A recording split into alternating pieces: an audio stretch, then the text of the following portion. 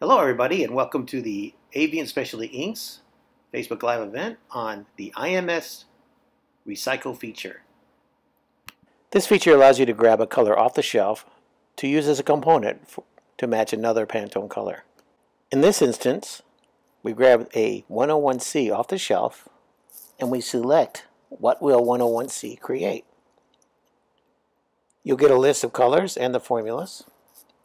And as you step through each one of them, it'll show you that most of the time one of the components is a zero. So you're actually able to mix that color without that component. Say if you are low on one particular component like uh, sunshine yellow or the white or maybe a fluorescent yellow, you're able to go through all the colors and figure out which one you want to recycle. Once you select that, it'll create a new formula without the component that you're missing. In this case, we selected 107C. You simply print it out, and you send it out to the ink department for them to start the mix. As you can see from this point, you're just following the formula, just like you would any other regular formula using the different components.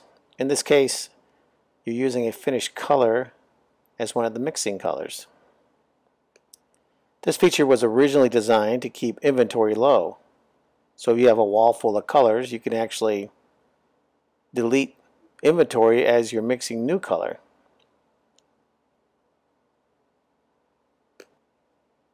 With the recent developments of raw material shortages and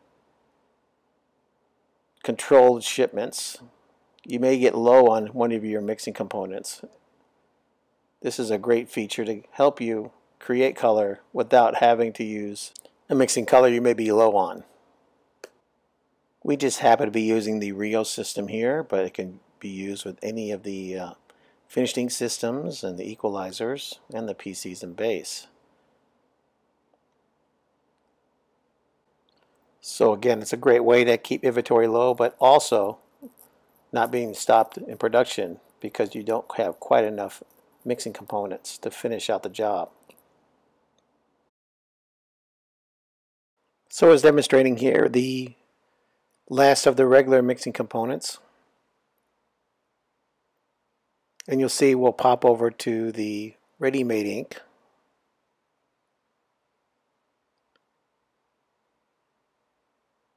So we're looking for the 101C. It's a Rio mix off the shelf.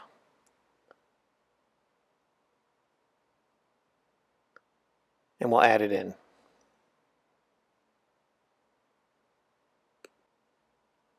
Once it's complete, you just stir,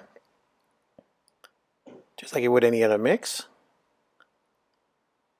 And you should end up with the exact target of 107C.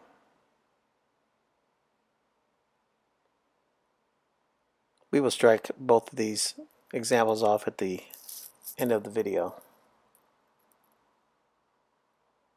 And there you have it. We had an overstock color and we made it into a new color to use in production.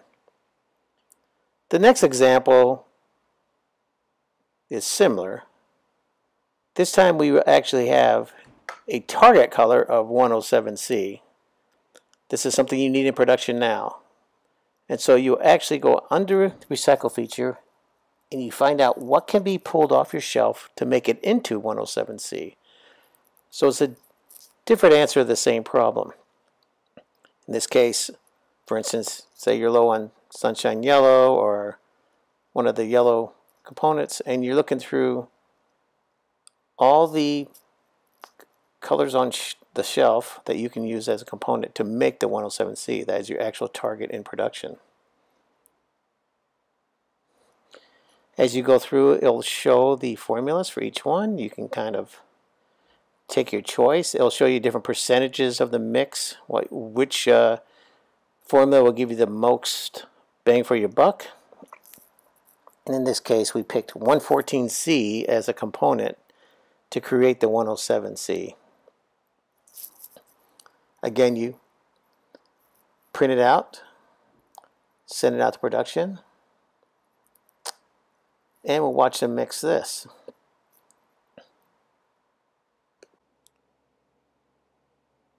Again, just following the formula that was printed out exactly like you would any other Pantone match formula on the mixing system. Using the components first.